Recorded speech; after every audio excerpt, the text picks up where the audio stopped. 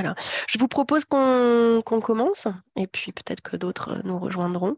Dans tous les cas, comme je vous l'indiquais, ce webinaire est enregistré, donc euh, euh, les personnes pourront revenir dessus euh, sans souci. Et peut-être, Julien, tu peux préciser si les personnes veulent poser des questions, comment, comment s'y prendre? Oui, absolument. Donc, vous avez, vous avez l'onglet Discuter qui est, qui est assez simple. Et sinon, vous avez l'onglet QNR aussi Personnellement, je préfère euh, l'onglet euh, discuter. Voilà, c'est plus, un peu plus facile à gérer. Faites euh, comme, vous le sentez. Moi, j'essaierai d'avoir les yeux sur les, deux façons. Donc, soit le, soit le petit icône discuter ou soit l'onglet QNR comme question et réponse.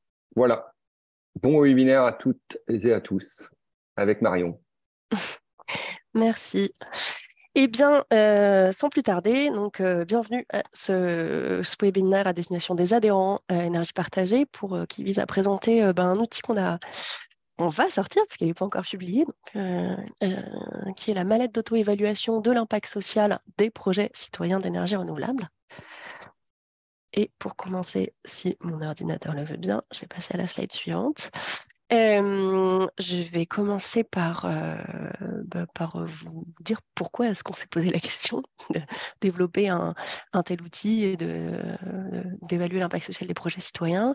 Ensuite, bah, je vous présenterai la mallette et puis ensuite, alors ensuite questions-réponses, mais n'hésitez pas à les poser au fur et à mesure et puis on, verra pour, pour les traiter soit au moment, soit à la fin, en fonction de, de la teneur de la question.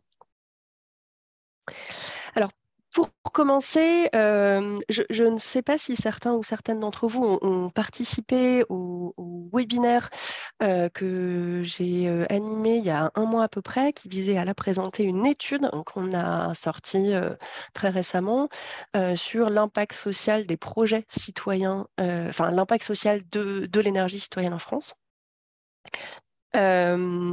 Et donc, euh, peut-être que pour, euh, pour celles et ceux qui y ont participé, ce serait une petite redite, mais euh, il me semblait important de revenir sur ces qu'est-ce que l'impact social? Parce que l'impact social d'une structure, la définition, c'est constitué par les effets que cette structure produit sur ses parties prenantes et plus largement sur la société.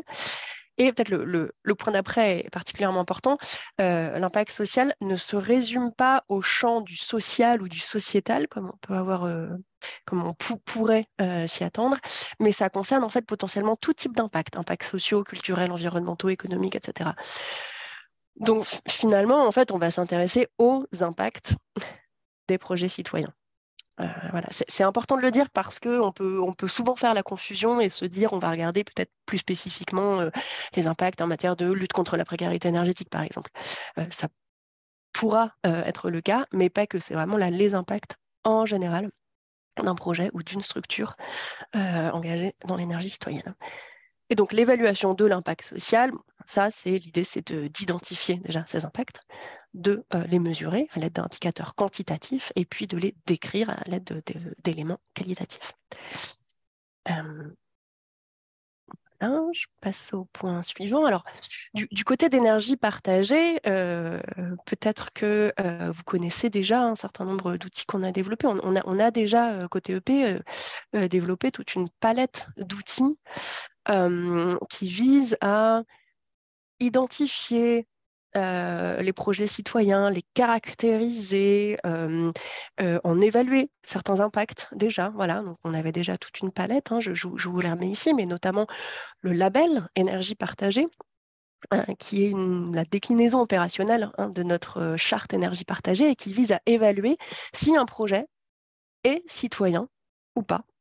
Euh, voilà, c'est un label euh, qualité et qui s'appuie sur l'expertise du réseau énergie partagée et puis sur un outil euh, qui s'appelle la boussole de l'énergie citoyenne, un outil d'évaluation. on a la carte des initiatives citoyennes en France hein, que vous pourrez trouver sur notre site, qui recense tous les projets où on a une petite fiche plus ou moins détaillée par projet, descriptive. On a les chiffres clés de l'énergie citoyenne, euh, où sur notre site, vous voyez eh bien, euh, euh, à partir des, projets labellisés un certain nombre de données agrégées en termes de production, puissance, mais aussi nombre d'actionnaires mobilisés dans ces projets, nombre de collectivités, l'argent investi, etc.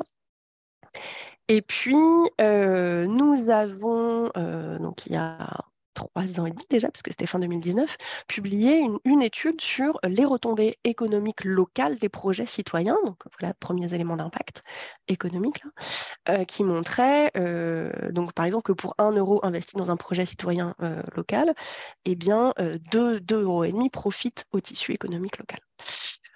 Mais on avait envie de continuer à creuser en fait euh, ce filon-là des impacts et donc de, voilà d'aller sur euh, une, démarche d'évaluation de l'impact social. Euh, c'est ce qui nous a amené à développer deux paquets euh, deux outils pour en fait deux niveaux d'évaluation différents. Euh, la, première, euh, la première chose, le premier outil, c'est l'étude qu'on a sortie donc il y a un mois qui vise à compléter les éléments d'évaluation dont on disposait déjà des impacts de l'énergie citoyenne en France. Voilà, donc vous, pourrez bah, consulter l'étude, regarder le, webinaire. Dans les grandes lignes, c'est une, étude qui est basée sur un questionnaire qui a été envoyé à des personnes physiques impliquées dans l'énergie citoyenne. Et, donc, on avait, on avait des réponses de bénévoles, d'actionnaires locaux et d'actionnaires d'une structure de type énergie partagée, investissement. et, puis, et puis, on a pu tirer des grandes conclusions, mais là, on va dire sur l'impact de l'énergie citoyenne en France. Et à côté de ça, on a voulu publier, c'est pour ça que vous êtes là, euh, on a voulu réaliser une mallette, enfin une boîte à outils à destination des porteurs de projets pour que chaque porteur de projet, collectif citoyen, collectivité, SEM, etc., puisse évaluer les impacts de son projet citoyen, ses projets citoyens, de sa propre structure, voilà, à son niveau. Euh, voilà, et donc c'est ce que je vais euh, vous présenter aujourd'hui. Euh, et oui, et donc est-ce normal que vous n'ayez pas retrouvé la mallette? C'est normal car, comme je le disais au tout début, on ne l'a pas encore publiée. Euh, là, l'idée, c'était de vous la présenter euh, en, primeur. Et puis ensuite, on vous la... elle sera mise en téléchargement via un petit formulaire puisque c'est réservé aux adhérents. Et on pourra vous l'envoyer aussi à l'ensemble des participants à ce webinaire. Donc oui, c'est normal que pour l'instant, vous n'ayez pas encore la mallette. donc, bah, pour rentrer dans le vif du sujet maintenant, euh, la balette. Euh, déjà pour la réaliser, on a été accompagné par une entreprise. On n'y est pas, on allé tout seul parce que c'est voilà, c'est, on s'est fait accompagner par des gens dont c'est le métier, euh, l'entreprise transformation.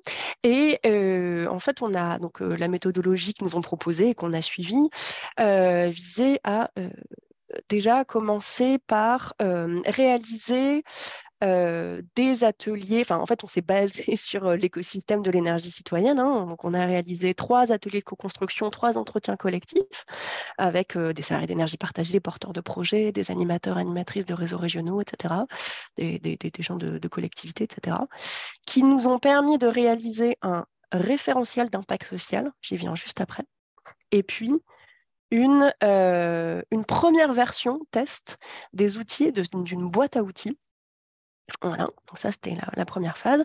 Euh, dans la deuxième phase du, projet, ben, on, a, fait un petit peu tester ces outils par sept porteurs de projets que je, que je remercie ici, voilà, qui nous ont envoyé euh, leur retour sur, ces premiers outils. Alors ils n'ont pas forcément mis en pratique eux-mêmes, mais ils nous ont dit ben, voilà, ce qu'ils ont pensé, est-ce que c'était pertinent, faisable, inutile, etc. Et puis on a pu prendre en compte ces retours et, réaliser la version finale avec aussi des, retours des, réseaux régionaux. Voilà, donc ça a été vraiment construit sur la base de, des acteurs de, l'énergie citoyenne. Je vous ai parlé d'un référentiel d'évaluation, parce qu'effectivement, la, première démarche, avant de construire cette boîte à outils d'évaluation de l'impact social, c'était de savoir ben, que veut-on que cherche-t-on à évaluer?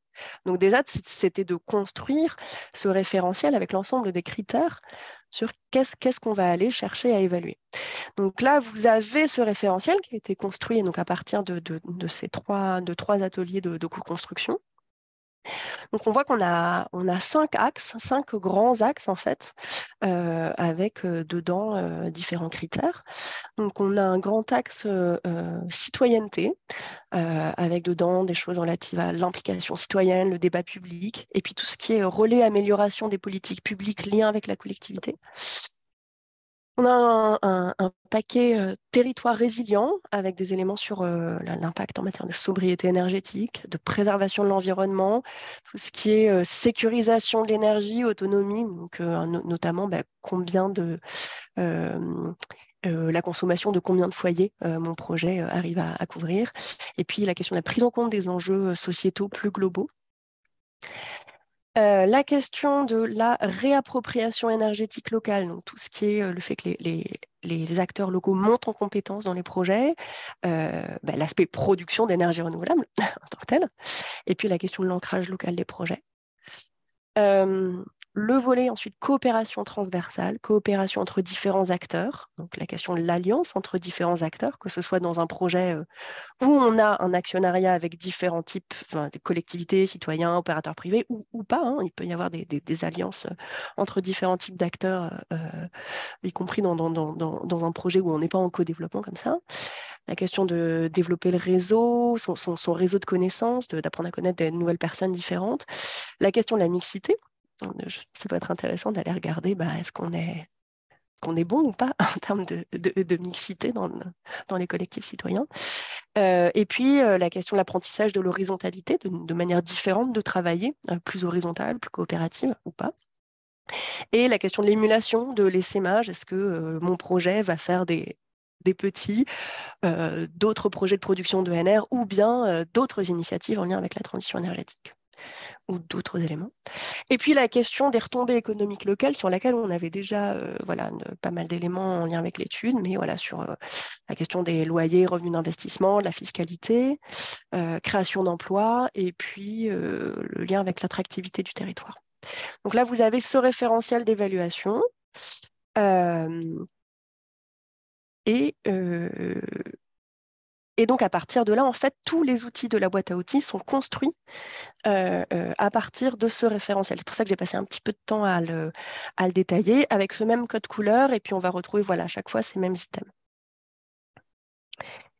Ensuite, euh, dans la mallette, enfin, cette, cette mallette d'évaluation, d'auto-évaluation, elle a été construite en se disant qu'il fallait que les porteurs de projets aient intérêt à utiliser cette mallette euh, et des raisons de l'utiliser. Et en fait, en creusant ça, on s'est dit qu'il pouvait y avoir plusieurs raisons différentes pour que euh, euh, un collectif citoyen, une collectivité, etc., un porteur de projet, s'engage dans une démarche d'évaluation de l'impact social de son projet peut-être une. Et donc, on a la, boîte à outils, la boîte à outils, a été construite autour de ces différentes raisons, de ce qu'on a appelé des, enjeux évaluatifs.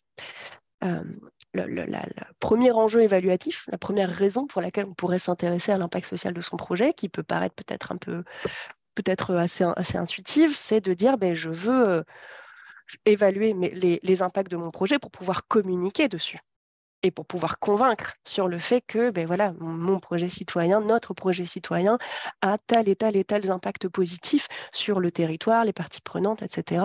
Et je veux pouvoir convaincre des, nouveaux, des nouveaux actionnaires, des nouveaux partenaires, des nouvelles collectivités, des nouveaux bailleurs, etc. Ça, ça peut être une première porte d'entrée. on peut aussi se dire qu'un porteur de projet veut savoir euh, où en est euh, son collectif, euh, où, en est la collectivité en termes de pratique pour pouvoir s'améliorer. Voilà. Donc évaluer ses impacts pour pouvoir améliorer ses impacts, les renforcer. Et puis, il peut y avoir d'autres, portées d'entrée aussi. par exemple, on peut se dire qu'on va rentrer dans l'évaluation de l'impact social pour interroger son projet, interroger le projet citoyen, euh, pourquoi est-ce qu'on le fait, et puis peut-être euh, orienter la stratégie du porteur de projet en la matière. Et puis, il peut y avoir une autre porte d'entrée euh, où finalement, on peut dire l'évaluation de l'impact social serait presque une forme de prétexte pour travailler autour de la remobilisation d'un collectif qui, s'essouffle, par exemple. Voilà, ça peut être une bonne porte d'entrée continue. Alors, peut-être je prends deux, je vois, je vois deux questions. Je vois sur la mixité, est-ce que c'est mixité sociale? Et eh ben ça, il peut y avoir euh, différentes, euh, euh, justement, mixité sociale, mixité de genre, voilà. Oui, sur l'autre d'acteurs. Sur l'autre question, Marion, je suis en train de taper la réponse là, donc tu peux. D'accord. Tu peux continuer. Ok. Et donc, dans cette boîte à outils, vous allez retrouver bah, déjà le référentiel que je vous ai présenté, et puis ensuite, ce même référentiel, mais en version plus détaillée, où pour chacun des critères, vous allez avoir un peu des, sous-items euh, que je ne vous ai pas mis là parce qu'il est vraiment très détaillé. Euh, une présentation de la mallette qui est une forme de mode d'emploi. C'est très court, hein. c'est euh, trois pages, je crois, trois, quatre pages. voilà, une présentation de la mallette. Et ensuite, vous allez avoir trois outils. Et en fait, à chaque enjeu évaluatif, donc c'est les quatre porte d'entrée dans la mallette que je viens de vous évoquer, à chaque enjeu évaluatif va correspondre un ou plusieurs outils. C'est-à-dire que vous, en tant que porteur de projet, vous n'allez pas forcément utiliser tous les outils. Vous n'allez pas forcément utiliser les, trois outils qu'on vous a mis là. Vous allez utiliser les outils qui correspondent à euh, bah, la raison pour laquelle vous vous intéressez à l'évaluation de l'impact social. Donc, si vous, ce qui vous intéresse, c'est euh, euh, évaluer euh, les impacts de votre projet pour communiquer et convaincre, vous allez vous intéresser à l'outil qu'on a appelé la palette d'indicateurs et que je vais, vous présenter rapidement aussi. Mais si, vous, ce qui vous intéresse, c'est évaluer l'impact social pour améliorer ces impacts, améliorer vos pratiques, alors on va plutôt vous conseiller de regarder un outil qui s'appelle le radar de progression euh, et, qui est accompagné d'un guide du radar de progression. Euh, et puis aussi, on a un troisième outil qui est un jeu de cartes. Alors ce jeu de cartes, euh, il peut, je vais vous montrer aussi, il a différentes trames d'animation et suivant la trame d'animation qu'on utilise, c'est-à-dire suivant les règles, les règles du jeu dont on se dote, on va pouvoir l'utiliser pour la question de l'amélioration des pratiques, ou plutôt pour interroger le projet, orienter la stratégie, voire aussi troisième, troisième règle du jeu différente, qui servirait plutôt à la question de la remobilisation d'un collectif. Voilà la, la, méthodologie euh, globale. Voilà, et donc avant de passer à ça, je vais maintenant euh, vous afficher les différents outils pour que vous voyez un petit peu plus de quoi je parle. Alors, ça, du coup, là, je vous ai mis euh, en blanc. Donc là, c'est la palette, euh, palette d'indicateurs. Voilà, ça ressemble à ça. Donc ça, c'est la palette d'indicateurs. C'est l'outil que vous allez utiliser si euh, vous avez envie de d'identifier les impacts de votre projet pour communiquer dessus, aller convaincre, convaincre qui vous voulez convaincre, des financeurs, des actionnaires, des partenaires, etc. donc, Là, vous allez retrouver, je dézoome, vous allez retrouver donc des définitions, à chaque fois c'est les mêmes. Euh, à chaque outil, vous avez une première euh, partie mode d'emploi, rappel rapide des règles, ensuite une partie définition qui sont tout le temps les mêmes, définition des acteurs locaux et citoyens, et puis définition de ce qu'on appelle comme bénévoles. Et puis ensuite, vous allez retrouver bah, à chaque fois euh, voilà, les grands axes, axe citoyenneté avec vos, items, axe réappropriation énergétique locale, etc. Et donc là, je vais zoomer un peu pour que vous voyez un peu de quoi on parle. On vous propose, on vous propose, donc rien n'est rien n'est obligatoire, d'aller regarder. En fait, cette, cette, palette d'indicateurs, c'est une sorte de liste euh, assez exhaustive, mais, mais enfin assez exhaustive, assez, euh, assez complète, mais pas forcément exhaustive, justement, d'indicateurs quantitatifs et qualitatifs, où on vous dit, ben voilà, voilà euh, tout ce à quoi on a, on a pensé euh, pour aller identifier, documenter, évaluer, critère par critère, voilà, on vous propose d'aller chercher les informations sur, par exemple, sur la question de la réappropriation énergétique locale. Si vous voulez documenter la question de la production énergétique locale, bon, quelle est la quantité, alors soit d'électricité, euh, soit de chaleur produite par votre projet? Euh, et puis la question de euh, bah, cette production, elle équivaut à la consommation d'électricité ou de chauffage de combien de personnes, par exemple? Euh, et puis, si vous voulez vous pencher sur la question de l'ancrage local, euh, combien il y a euh, d'habitants qui sont actionnaires, soit en direct, soit intermédiaires, etc. mais si vous voulez vous pencher sur la question de, et mettre en valeur surtout, et communiquer sur la question de la montée en compétence des acteurs locaux, ben voilà, combien il y a eu de, formations qui ont été suivies par les acteurs locaux dans le cadre du projet sur ces deux dernières années, voilà, à peu près combien de personnes ont été présentes à ces formations. Donc là, vous voyez un petit peu, donc on a la même chose pour, euh, euh, tous les pour tous les, pour les cinq axes et chaque critère, hein, on vous propose des indicateurs quantitatifs et aussi des indicateurs qualitatifs. Donc là, par exemple, sur, euh, sur l'indicateur, je passais à la, partie territoire résilient. Donc on a un critère sobriété énergétique.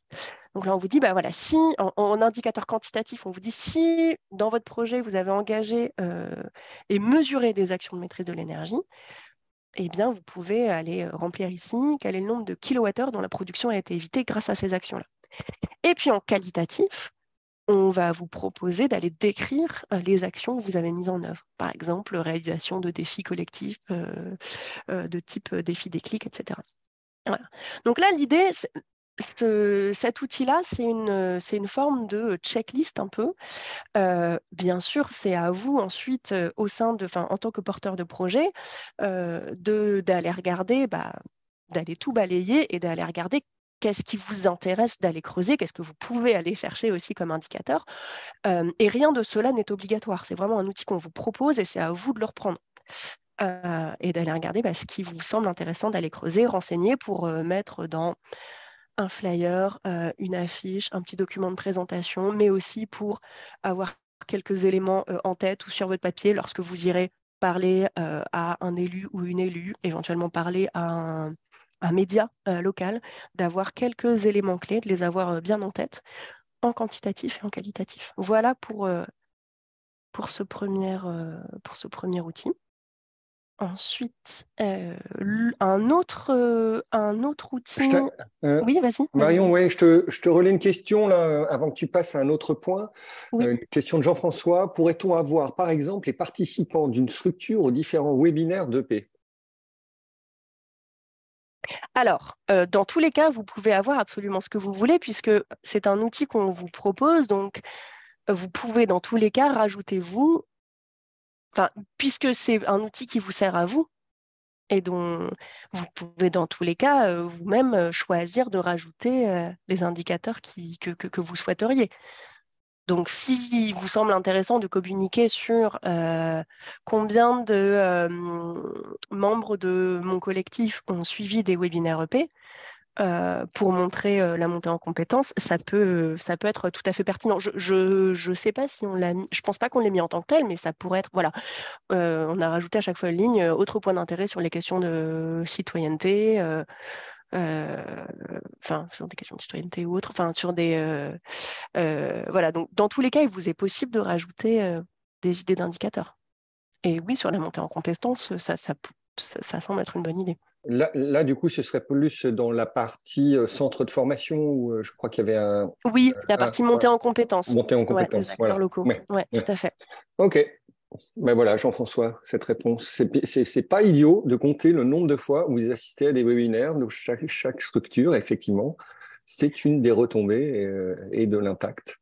En tout cas, si c'est quelque chose sur lequel vous avez envie de communiquer, voilà. Euh, il faut pas, il faut vraiment pas le prendre comme euh, parce que c'est une liste qui peut sembler euh, longue et complète. Donc, il faut vraiment le prendre comme bah, vous, vous, regardez ce qui là-dedans vous intéresse et ce sur quoi il vous semble important vous d'aller chercher l'information pour pouvoir communiquer dessus.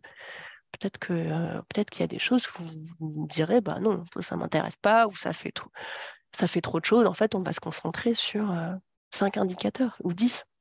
Voilà. Donc euh, nous notre travail c'est de faire quelque chose de, d'assez complet et ensuite ben, vous, de, vous le proposer et vous vous l'utilisez comme vous le souhaitez du coup je continue donc ça c'était l'entrée voilà la palette d'indicateurs quantitatif, qualitatif. Un autre outil donc, qui va correspondre plutôt à l'amélioration des pratiques, mais aussi qu'on peut utiliser pour euh, remobiliser son collectif. C'est ce qu'on appelle le... Euh, est-ce que vous voyez bien là? Vous voyez mon écran? On voit petit pour l'instant. Hein. Vous voyez petit. Eh bien, je vais zoomer. Ah, là, ça devient, ça devient pas mal. Voilà, c'est un tableau Excel qui est accompagné d'un guide euh, donc en PDF euh, qui s'appelle donc le radar de progression de l'impact social des projets citoyens d'énergie renouvelable. Euh, donc là, vous avez plusieurs onglets. Donc un premier onglet mode d'emploi qui vous rappelle grosso modo comment ça marche. Et puis, j'y reviendrai après, l'articulation de cet outil avec, un, avec la boussole de l'énergie citoyenne, qui est un autre outil que j'ai évoqué rapidement. Dans tous les cas, voilà. ensuite, vous avez, pareil, toujours le rappel des définitions, toujours les mêmes. Et puis ensuite, vous avez donc ici un onglet récap, on y reviendra après. Et ensuite, vous avez bah, cinq onglets qui correspondent toujours à nos cinq grands axes. Hein. Et donc, si je vais sur la, par exemple, le, voilà, réappropriation énergétique locale toujours, là, la logique de l'outil, c'est que euh, pour chaque euh, critère, donc là, par exemple, la question de l'ancrage local, vous avez un ou plusieurs sous-critères. Donc là, par exemple, c'est euh, sur la question de l'ancrage local, sur le long terme, quelle est la place des habitants dans l'actionnariat de la société de projet? Et donc, vous avez euh, vous avez pour chaque, sous-critère un, niveau de 0 à 4. Donc là, par exemple, on voit que sur le long terme, la place des habitants dans l'actionnariat de projet, bah, si sur le long terme, il y a zéro habitant prévu dans l'actionnariat dans la, dans de la société de projet, bah, on va se mettre en niveau 0. Et puis ensuite, bah, si euh, l'idée c'est qu'il y en ait euh, moins, euh, moins de 20 en phase de développement et moins de 30 en phase d'investissement en exploitation, on met 1. Voilà. Et donc, vous voyez le principe, hein, on est pour, pour chaque sous-critère, on, a, on a 5 gradients qui vont de 0 à 4. Et donc l'idée, c'est de passer chacun des critères pour aller s'auto-évaluer, pour voir si on se place de 0 à 4. Donc là, vous avez en fait, dans chacun des onglets, vous avez, vous avez le détail de la, de la notation ou de l'évaluation. donc c'est le cas pour tous, hein, pour chacun des items. vous avez éventuellement des petites notes sur le côté, pas beaucoup. Et puis, en fait, là où vous allez reporter cette évaluation, c'est dans euh, l'onglet qui s'appelle Radar de progression, qui est un onglet récap, où vous allez venir cocher ici, euh, bah là par exemple, dans la partie citoyenneté, euh, le poids des acteurs locaux et citoyens actionnaires dans le financement de la société de projet. Là, je me suis évaluée au niveau 2. voilà, et donc vous allez venir vous, évaluer et ça va venir vous faire bah, le petit radar, radar en étoile ou radar en araignée qui va vous dire bah, là où vous êtes bon, là où vous êtes moins bon, etc et qui vous donne une vision globale euh, euh, d'ensemble. Alors, le lien avec la boussole, j'y reviendrai après, si ça vous va. Je ne vais pas oublier ça. Euh, voilà pour cet outil-là. Et puis, je vais venir présenter le dernier outil. Et après, hmm, non, non, c'est pas ça que je voulais afficher. le dernier outil, et puis après, je pourrais répondre à la question sur le lien avec la boussole et la labellisation. Le dernier outil, c'est un jeu de cartes. Euh, voilà, un jeu de cartes sur l'impact social de son projet euh, citoyen. Euh, et alors, alors, pardon, je vois une question de Mélissa sur le précédent outil. Est-ce que le récap se remplit automatiquement avec les notes des critères évalués dans chaque onglet? Oui, tout à fait. Oui, oui pouvez-vous expliquer dans le second outil la lecture des schémas en étoile? Alors, bah, du coup, je vais revenir. Euh, vous voyez là? La lecture des. Alors, donc effectivement, si euh, euh, l'outil se remplit automatiquement, le récap se, remplit automatiquement. Alors non, on remplit pas, on remplit pas chaque onglet, on remplit ici en fait, Mélissa. Donc là, par exemple, là j'avais déjà rempli, mais si je remplis ici et que je me mets là, je me suis notée en 1, là, je me suis notée en 2, et donc vous voyez que ça se remplit sur le côté, là, je me suis notée en 3. Euh, et euh, voilà, et donc là, et, donc là la lecture des schémas, on a ici un gradient qui va de 0 à 4. En gros, pour, en gros, qui va de 0 à 4 et on voit plus on est haut, plus on est bon et plus on est proche de 0, bah, moins on est bon. Voilà, plus le schéma est, rempli, enfin plus la zone de couleur remplit euh, les bornes, mieux c'est. Et moins ça remplit les bornes, euh, moins bien c'est. quoi. si on veut simplifier.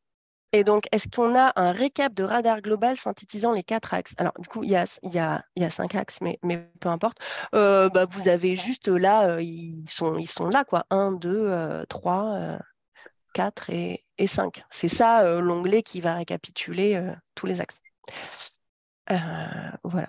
J'espère que ça répond à vos questions. Peut-être point aussi, vous avez, euh, vous avez des lignes pièges où il n'y a pas de note de 0 à 4.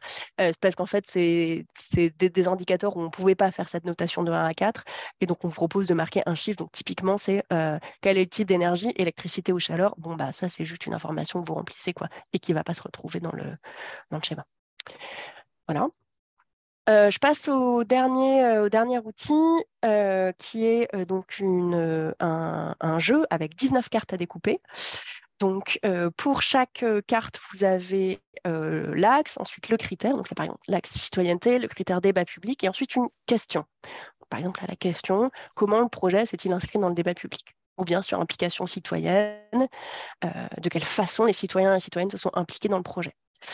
Euh, et donc ensuite, euh, vous avez trois euh, règles du jeu possibles, suivant, suivant ce que vous voulez faire. Donc, je ne veux pas forcément toutes les détailler, mais typiquement, si vous êtes plutôt sur interroger le, le projet et son identité, vous allez vous intéresser uniquement à cette partie-là de la carte, au haut de la carte, pas à la question. Vous n'allez pas regarder la question. Et puis, chaque, donc vous êtes à plusieurs, vous y jouez à plusieurs, et puis chaque participant va sélectionner cinq cartes qui lui semblent les, plus, les plus importantes pour le projet. Voilà, les plus représentatives de, de l'identité du projet. Et on va mettre les cartes en commun et on va sélectionner voilà, les cartes que tout le monde a sélectionnées. On va les, on va les regarder plus particulièrement. On va pouvoir répondre à euh, aux questions posées par ces cartes-là que tout le monde a choisies. Et puis après, on peut commencer à regarder les cartes que pas tout le monde a choisies, etc. Je ne détaille pas forcément les, différentes trames, vous pouvez les retrouver dans le mode d'emploi, mais donc euh, voilà, en fonction de, de comment vous voulez euh, vous mobiliser et utiliser cet outil, il y, a plusieurs règles différentes. J'ai balayé l'ensemble des outils. je ah. vais... Ouais. Oui, Marion, il y avait une question sur euh, est-ce que euh, cet outil a euh, vocation de devenir aussi incontournable que celui de la boussole et plus ou moins la, relation avec la boussole? Est-ce que tu souhaites y répondre maintenant ou plus tard? Tout à fait. J'allais venir sur le lien avec la boussole. Donc, je vais à nouveau, je vais à nouveau partager mon écran. Vous voyez mon PowerPoint là? Oui. Ouais. OK. Du coup, pour, euh, pour celles et ceux qui ne connaissent pas la, boussole de l'énergie citoyenne, euh, c'est l'outil sur lequel euh, le réseau énergie partagée s'appuie pour accorder ou non le label énergie partagée à un projet. Et en fait, on sait pour le radar d'auto-évaluation des projets citoyens, euh, euh, on s'est basé sur la construction de la boussole, puisque la boussole de l'énergie citoyenne, euh, elle, comporte 12 critères répartis sur 5 axes. Et donc, pour chacun de ces critères, en fait, on a cette notation de 0 à 4. Et donc là, on a trouvé ça intéressant de s'en inspirer. et aussi de reprendre certains critères, parce qu'il y avait des critères où vraiment on avait, ça faisait vraiment sens de les reprendre tels quels.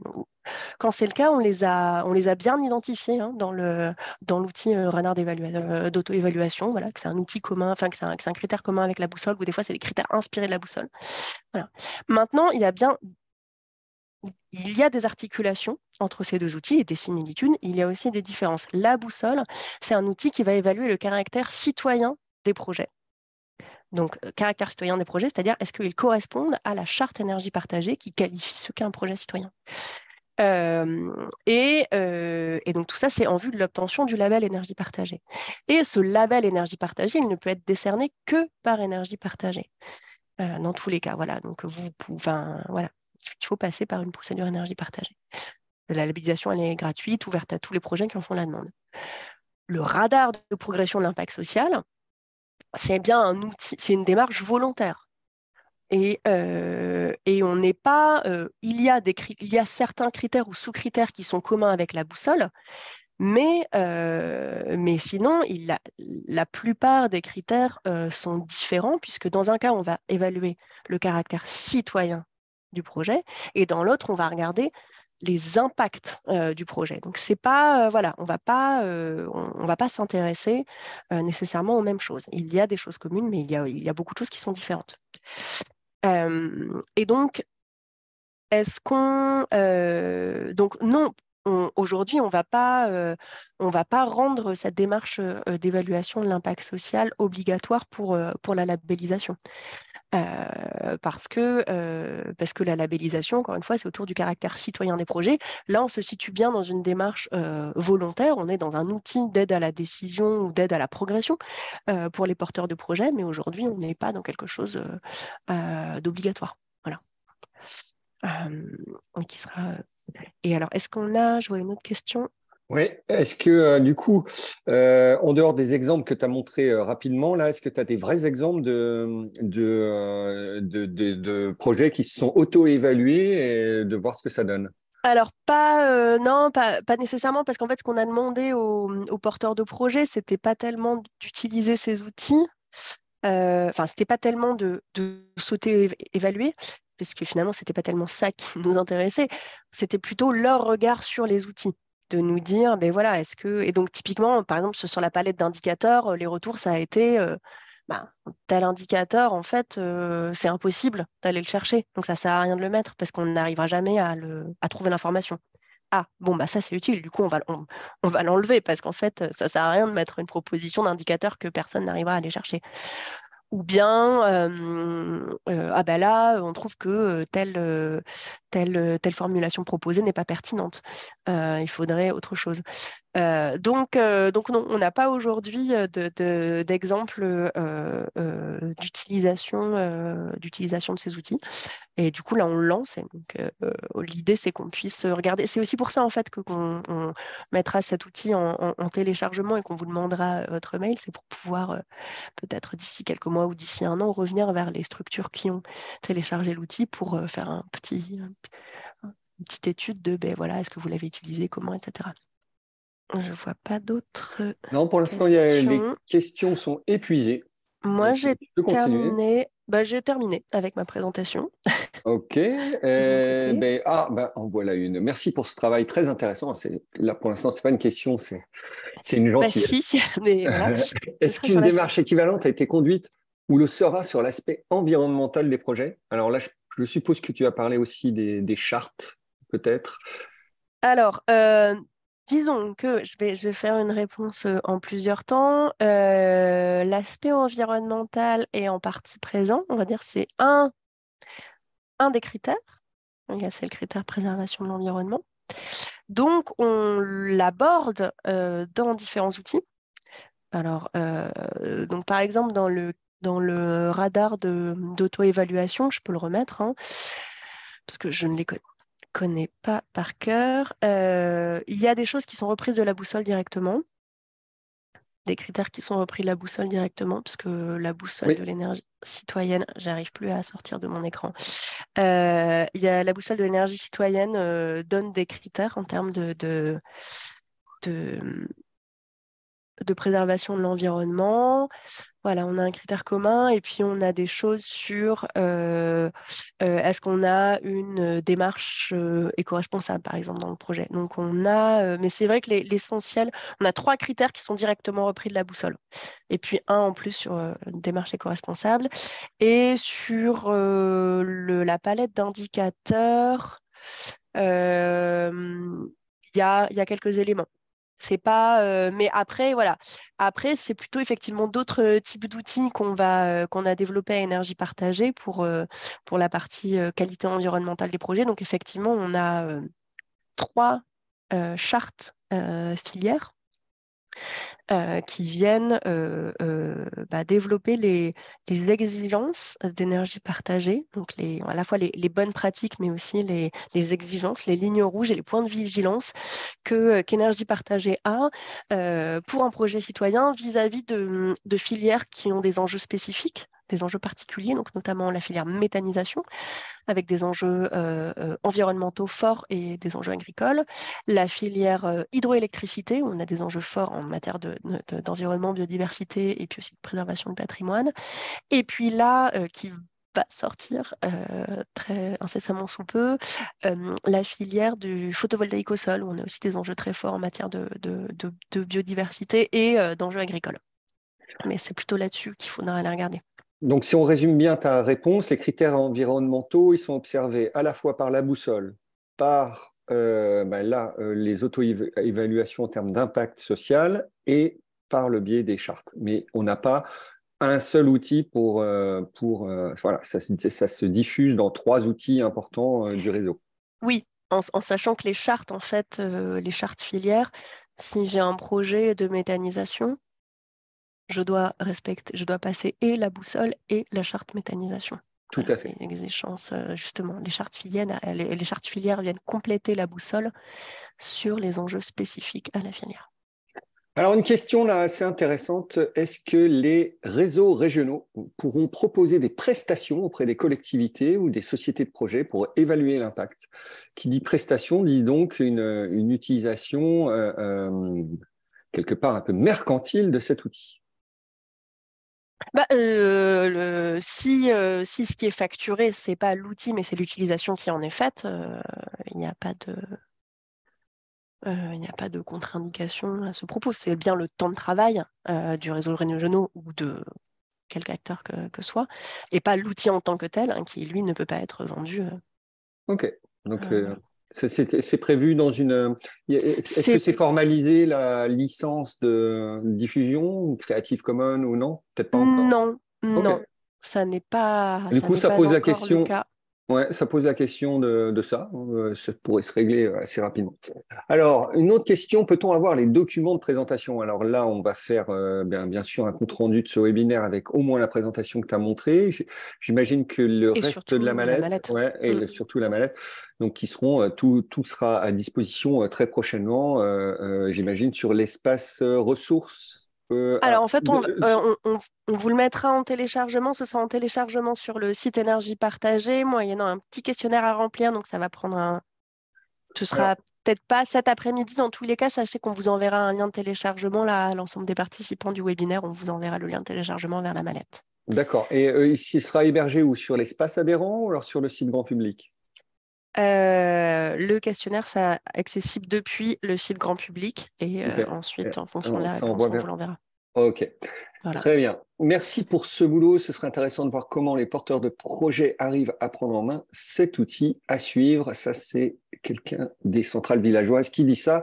Le résultat des évaluations déjà réalisées en test par les sept projets ont-ils fait l'objet d'une communication par chaque structure? Si oui, comment et quel usage euh, ont-ils fait de, de ces Alors du coup, je vais faire une petite redite, mais les, les, les, porteurs de projets qui ont évalué ces outils, enfin qui ont testé ces outils, ce qu'on a appris, c'était pas leur, euh, leur, leur, auto-évaluation sur les outils, d'autant que c'était une première version qui a été ensuite pas mal remodelée suite à leur retour. Mais c'était bien, euh, qu'est-ce que vous pensez de ces outils?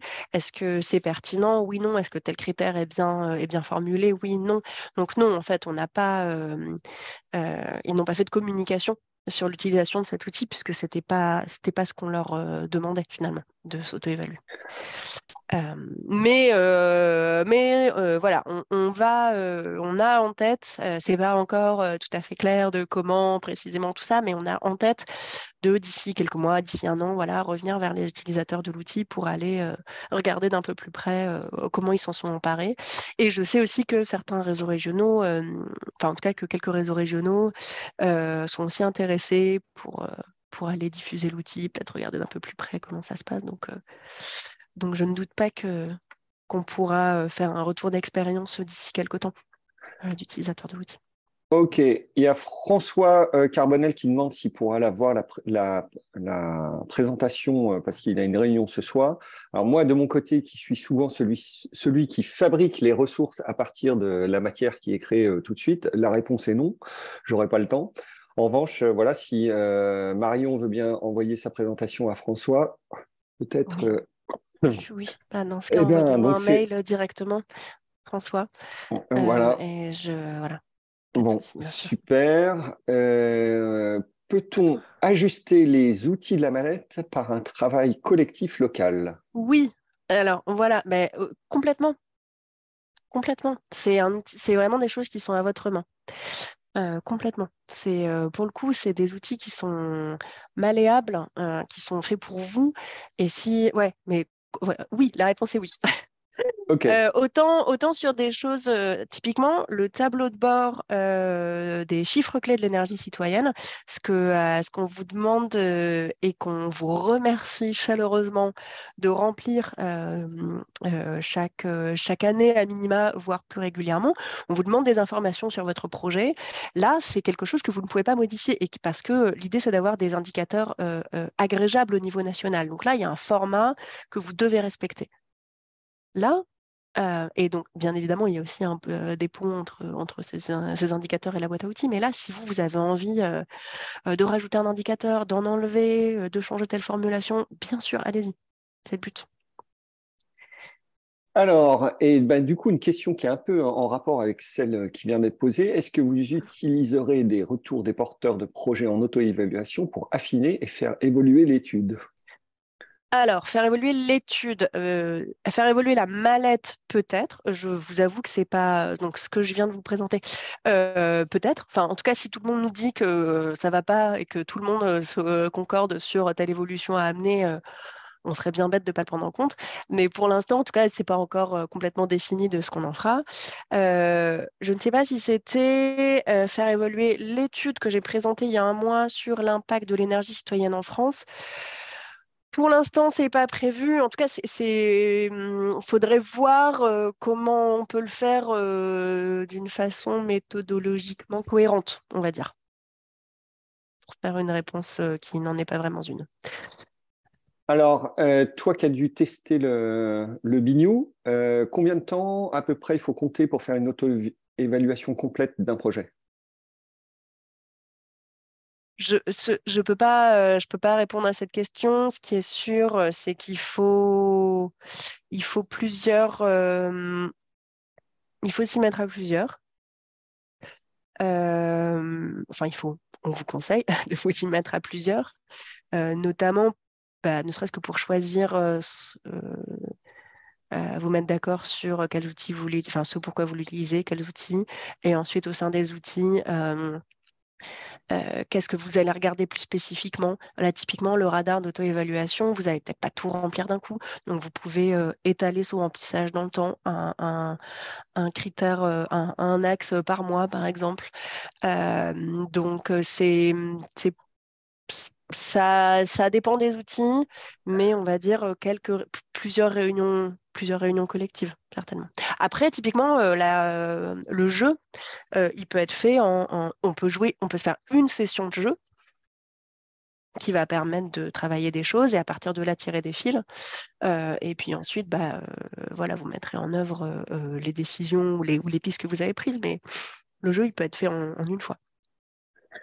D'accord. Après, on a une autre question sur est-ce qu'on va mettre en œuvre des démarches d'appropriation de l'outil? Ben, Je dirais que ça, typiquement, euh, ce webinaire, tout de suite, là maintenant, c'est une, euh, c'est une démarche d'appropriation de, l'outil et bien sûr qu'il euh, y aura un compte-rendu de ce webinaire et donc les gens qui voudront utiliser cet outil seront souvent bah, ramenés à ce webinaire pour, pour l'utiliser. Est-ce qu'on a prévu d'autres choses, euh, Marion? Bah, D'une part ça, et d'autre part, euh, moi je dois, euh, suite à ce webinaire d'aujourd'hui, je vais relancer plusieurs réseaux régionaux qui sont intéressés par la démarche pour, pour continuer à affiner justement cette question de la diffusion, de ce qu'on peut faire ensemble, de est-ce qu'il y a des indicateurs communs, ce qui peut faire le point avec la question d'après, est-ce qu'on a prévu d'utiliser les données produites pour produire de la donnée générale? Alors, euh, et bien ça, Dorian, en fait, on a déjà les chiffres clés de l'énergie citoyenne sur notre site internet, euh, où on a déjà pas mal de données.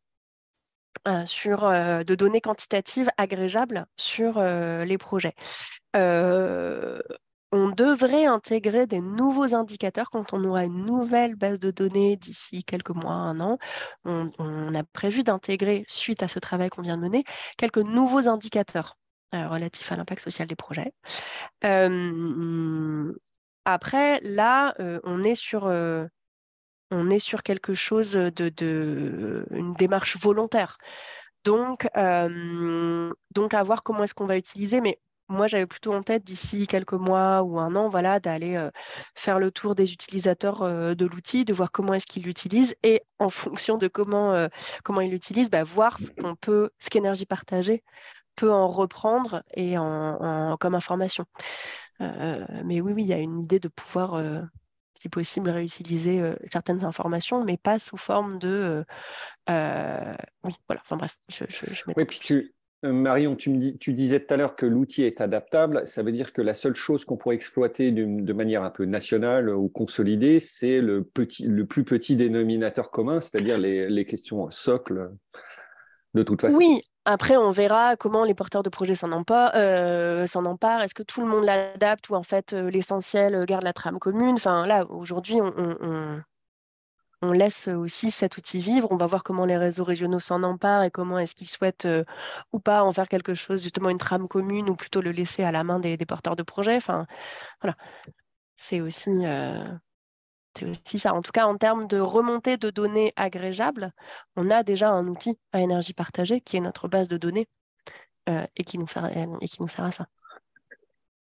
Une question euh, de Patrick. Est-ce que EP a prévu de former des personnes en région plus spécifiquement euh, sur cet outil? On parlait des réseaux régionaux, hein, justement. Et eh ben voilà, ça, c'est, ça va être la discussion à avoir avec les réseaux régionaux. Je sais que certains, euh, certaines ont, prévu de, de, faire un, petit temps à leur porteur de projet.